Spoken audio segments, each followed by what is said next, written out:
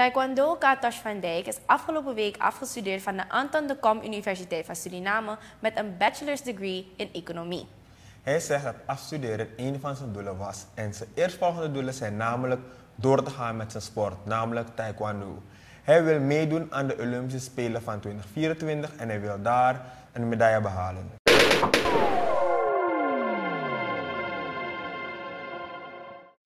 Wel, het was niet zo makkelijk. Zoals vele mensen weten um, ben ik topsporter op het gebied van taekwondo. En ik combineer dit met mijn studie. En het is op de Antwerpen Universiteit van Suriname. En het was niet zo makkelijk. Het is um, bijna heel erg zwaar gegaan. Het was heel erg moeizaam, omdat je dan bepaalde keuzes moet maken, bepaalde offers moet je echt brengen. Maar uiteindelijk is het gelukt. En 2020 is het eigenlijk gestart, want 2020 wilde ik graag naar de Olympische Spelen gaan. Helaas was dat niet gelukt. En toen kwam COVID-19, total lockdown, iedereen moest thuis blijven. En daarvan heb ik daar flink gebruik gemaakt, want ik had toen iets van 12 of 14 vakken die ik nog moest halen. En ik dacht van, weet je wat Tosh, hoe kan je deze uitdaging aangaan? Hoe kan je zelf blijven ontwikkelen, alhoewel je binnen moet blijven? En toen heb ik de keuze gemaakt om deze vakken, weet je, achter elkaar te gaan maken. Dat heb ik binnen twee tentamenperiodes onge... Binnen twee tentamenperiodes heb ik het gedaan. Om intussen te starten met mijn thesis. Niet zo makkelijk, uiteindelijk komt het neer op de keuzes die je maakt, een planning die je maakt. Um, als je hulp nodig hebt, hulp zoeken. Want precies zo heb ik ook met diverse docenten gesproken, met ADIC gesproken om te kijken hoe ik het het best zou kunnen aanpakken. En zij hebben me ook begeleid tot het moment waar ik nu kan zeggen dat ik mijn bachelor heb.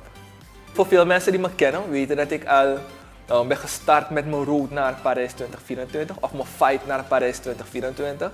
Dat wil zeggen dat ik me nu aan het voorbereiden ben om als eerste taekwondo-atleet, of één van de eerste taekwondo-atleten, op de komende Olympische Spelen te staan op het gebied van taekwondo. En dat is eigenlijk in, in, in, in, motion, als ik het zo mag zeggen. En eigenlijk is het de bedoeling dat ik zo snel als mogelijk vertrek naar het buitenland, zodat ik op het hoogste niveau kan trainen.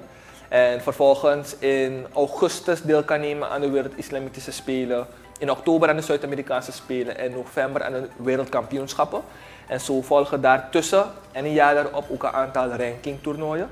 Zodat ik ready kan zijn voor het jaar 2024 en mijn doel of mijn dromen binnen mijn sport. En eigenlijk mijn totale Olympische droom. Want de mensen die me kennen weten dat ik naar de Olympische Spelen wil gaan als eerste taekwondo Surinaamse atleet. Tweede Suriname die een medaille wil winnen. En ik wilde dat tenminste met de bachelor-titel. Dus nu heb ik mijn bachelor-titel. En het wordt nu tijd dat ik mijn carrière of mijn doel qua sport ook ga realiseren. Kijk, binnen taekwondo zijn er twee manieren waarop ik kan kwalificeren. Eén manier is om in de top 6 te zijn van de wereldranglijst. Dat wil zeggen dat je aan diverse rankingtoernooien deel moet moet nemen om zodoende punten te vergaren en dan te klimmen. Dat kost behoorlijk veel geld, wat je moet afreizen naar die landen. En twee, in 2024 is het kwalificatietoernooi. En daar moet ik goud of zilver winnen om rechtstreeks te kwalificeren.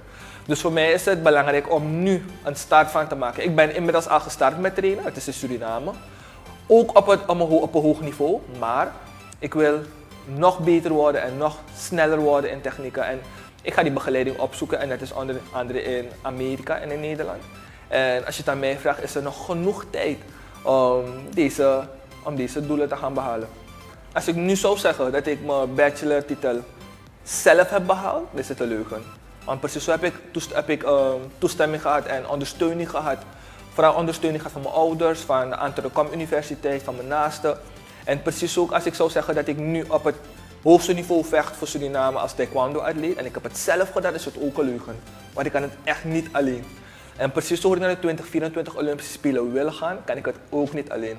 Alhoewel ik de persoon ga staan op de mat, alhoewel ik de persoon ben die naar de training moet gaan, die blessures voorheen heeft gehad, die, weet je, met tranen en, tranen en tuiten, bloed, alles en nog wat.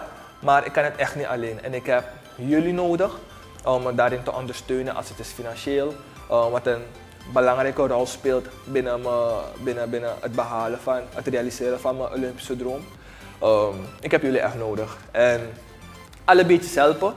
Um, een boxsite respecteer ik ook en neem ik met heel veel liefde ook aan. Een bericht um, accepteer ik en neem ik met heel veel liefde aan.